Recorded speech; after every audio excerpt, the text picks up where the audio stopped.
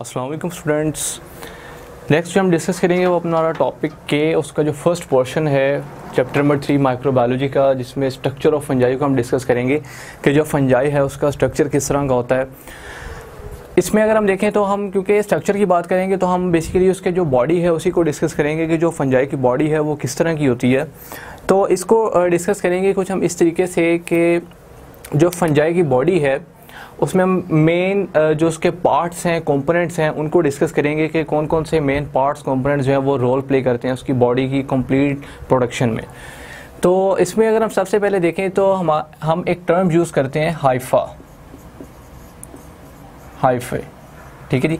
ये टर्म जो है वो हम यूज़ करते हैं फंजाई के लिए। जब बहुत से हाइफे जो हैं ये आपस में मिलते हैं तो एक कंप्लीट बॉडी बनती है फंजाई की, जिसे हम बोलते हैं माइसीलियम माइसीलियम और जो बॉडी ऑफ़ फंगस है, उसे हम बोलते हैं माइसीलियम बॉडी ऑफ़ फंगस और ये बनती किससे है? जब क्लस्टर ऑफ़ फाइफी जो है a group of hyphae point of hyphae जो आपस में मिलते हैं तो वो बना देते हैं एक बॉडी फंगस की जिसे हम फिर कहते हैं माइसीलियम और माइसीलियम जो है ये बॉडी है फंगस की।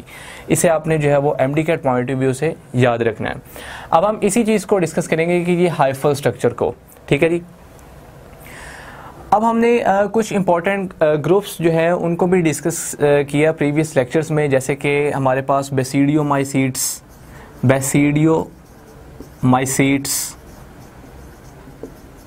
as well as ascomycetes and zygomycetes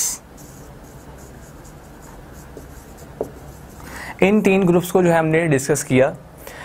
ये मेन थ्री इसके ग्रुप्स हैं। बेसिडियोमाइसीड्स एस्कोमाइसीड्स एंड जाइगोमाइसीड्स ड्यूट्रोमाइसीड्स भी है, पर इनको हम जो है वो मेन फॉलो करेंगे।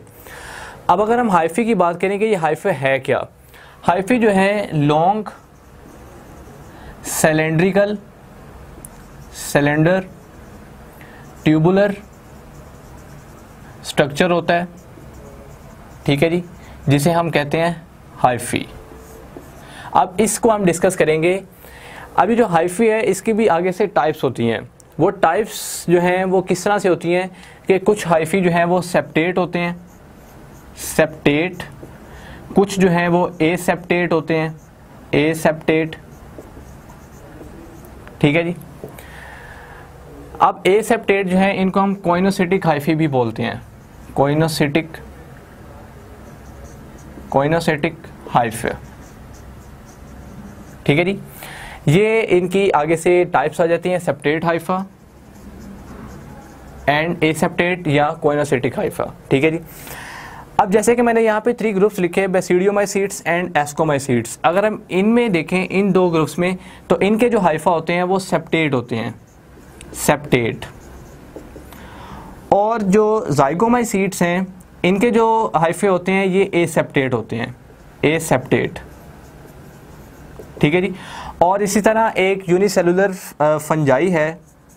यूनिसेलुलर फंजाई है, जिसे हम कहते हैं यीस्ट ये यीस्ट जो है, ये एक ऐसी फंजाई है जो विदाउट हाइफा होती है। विदाउट हाइफा ठीक है जी? ये कुछ इंपॉर्टेंट पॉइंट्स हैं जिनको स्टार्ट में जो है आपने याद रखना है। ये ग्रुप्स हैं बेसीडियोमाइसीट्स एस्कोमाइसीट्स इनके जो हाइफी हैं वो सेप्टेट होंगे। जाइगोमाइसीट्स के हाइफी जो हैं वो एसेप्टेट होंगे। और इसके अलावा एक फंजाई है यूनिसेलुलर यीस्ट ये विदाउट हाइफी है, ठीक है जी? इन पॉइंट्स को आपने याद रखना है। अब ये जो वर्ड मैं कह रहा हूँ कि सेप्टेड हाइफी की तो मैंने बात की कि हाइफी है क्या? लॉन्ग सिलेंडर ट्यूबुलर स्ट्रक्चर होता है, ठीक है, जिसे हम हाइफी बोलते हैं। अब ये हाइफी की टू टाइप्स हैं, जिसमें एक तो है सेप्टेट और एक है एसेप्टेट या इसे हम कोइनोसिटिक हाइफी भी कहेंगे। अब ये सेप्टेट का मतलब क्या है? सेप्टेट का वर्ड हम यूज़ करते हैं डिवाइड के प्रोसेस के लिए फॉर डिवीज़न यानी डिवीज़न के प्रोसेस के लिए हम वर्ड यूज़ करते हैं सेप्टेट का, कि कहीं पे डिवीजन्स परफॉर्म हो रही हैं। लाइक अगर हम देखें,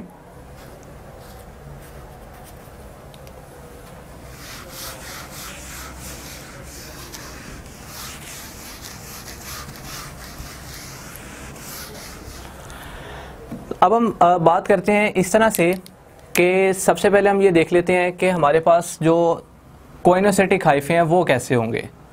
कोइनोसिटिक हाइफा जैसे कि मैंने ऑलरेडी बात की कि जो कोइनोसिटिक हाइफी हैं ये इस तरह की हाइफी हैं जो कि ए सेप्टेट हैं। ए सेप्टेट इस ए सेप्टेट का मतलब ये है कि कोई भी डिवीज़न इसमें परफॉर्म कोई भी डिवीज़न इसमें परफॉर्म नहीं होगी।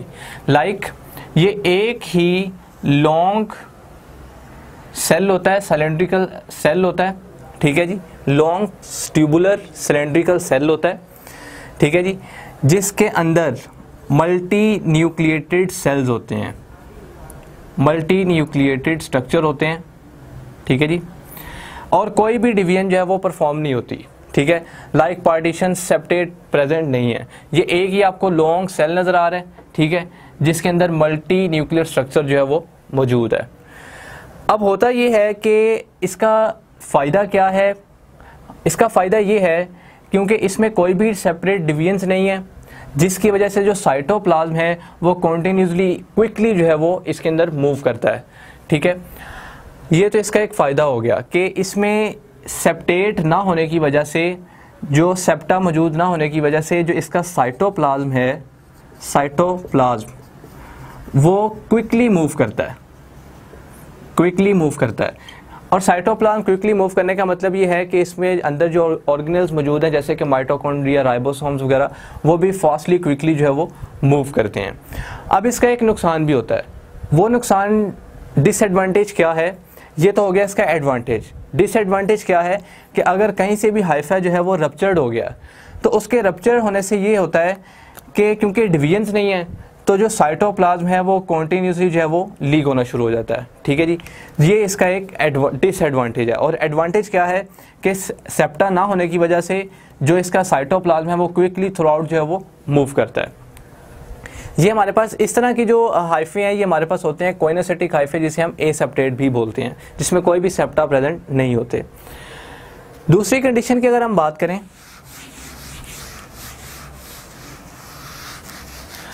दूसरी कंडीशन अगर हम देखें तो वो दूसरी कंडीशन क्या है? वो है सेप्टेट हाइफी की। सेप्टेट हाइफी अब ये जो सेप्टेट हाइफी हैं, इनकी भी आगे से टू कंडीशंस आ जाती हैं।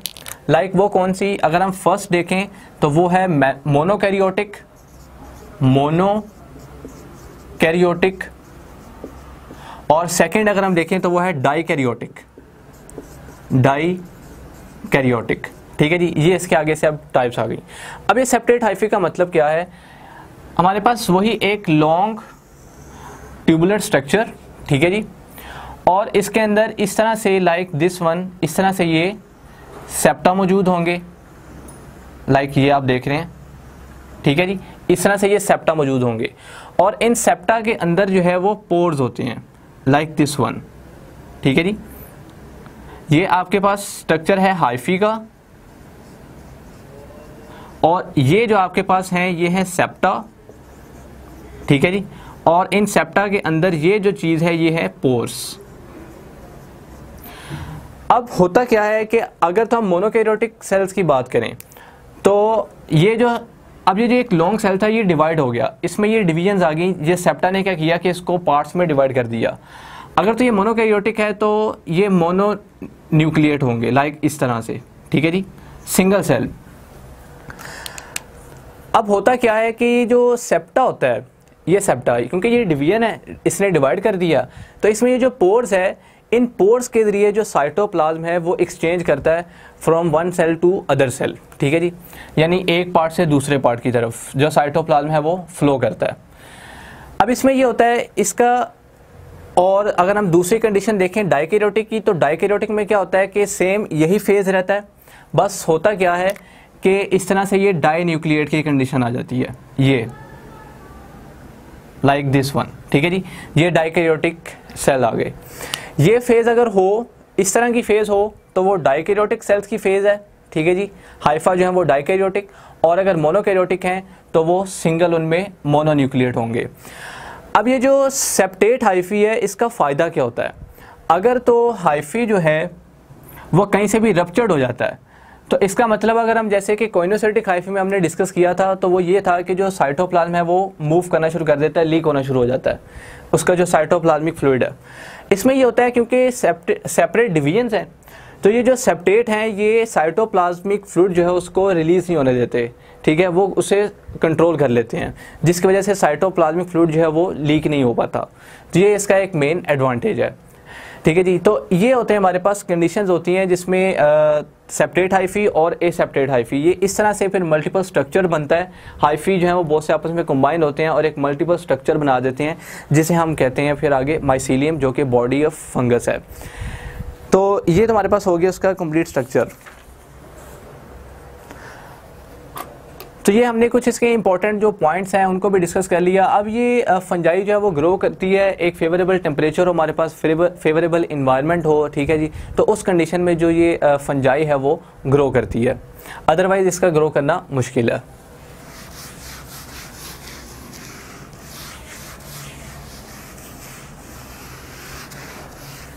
अब जैसे कि एक पॉइंट हमारे पास ये भी है कि all fungal nuclei are haploid तमाम जो फंगल न्यूक्लियाई हैं वो हैप्लॉइड होते हैं except transient diploid zygote that form during sexual reproduction इस पॉइंट को जो आपने है वो याद रखना है M D CAT point of view से. इसके बाद एक छोटा सा बॉक्स है, उसको भी आप देख लें कि एक सिंगल माइसीलियम जो है वो प्रोड्यूस करते हैं किलोमीटर्स ऑफ़ न्यू हाइफी.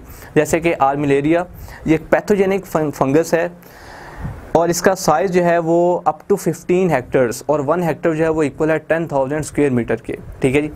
तो ये पॉइंट्स हैं इनको आपने याद रखना है। ये हमारे पास जो थी एक कंप्लीट जो स्ट्रक्चर ऑफ़ फंजाई जिसमें मैंने आपको बता दिया सेप्टेट हाइफी के बारे में ए सेप्टेट के बारे में और बेसीडियोमाइसीड्स एस्कोमाइसीड्स इनके जो हाइफी हैं वो सेप्टेट होंगे और जाइगोमाइसीड्स जो हैं इनके जो हाइफी हैं वो ए सेप्टेट या क्विनसिटिक हाइफी जो हैं वो इनके होंगे जाइगोमाइसीड्स के ठीक है जी?